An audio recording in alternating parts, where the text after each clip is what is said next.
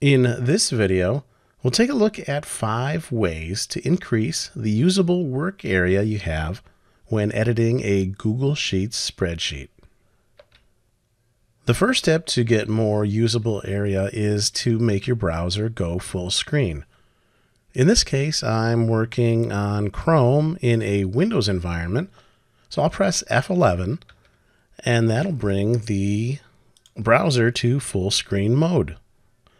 As you can see at the bottom, I've actually gained about five rows that I can see that I couldn't see before. The next thing I can do is zoom out of the spreadsheet. So I come up here and click on view and then zoom and then I'll go down to 90% and you can see I've gotten a few more rows on the screen.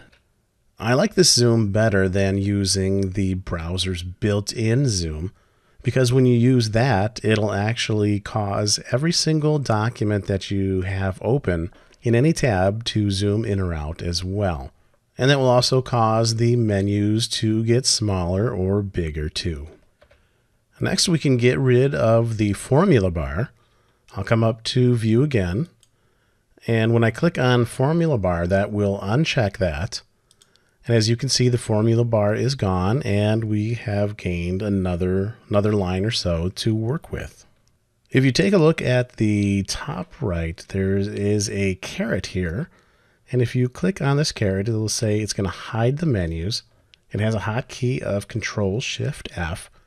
So once I click on that, the menus are now gone and you just have the buttons there at the top. And last, but certainly not least, you can make Sheets go full screen by itself. So I'll click on the caret and bring the menu system back. And again, I will click on View. And at the very bottom of this menu, there's the option to go full screen. So I'll click on that. And the only thing you see now is the spreadsheet. So now you can really get all your work done. If I want to get out of full screen mode here, I'm going to click Escape That'll bring the menu back and then I'll hit F11 and that'll bring me out of the browser full screen. So there you go. You've got a lot of room to work with potentially on that small screen of yours.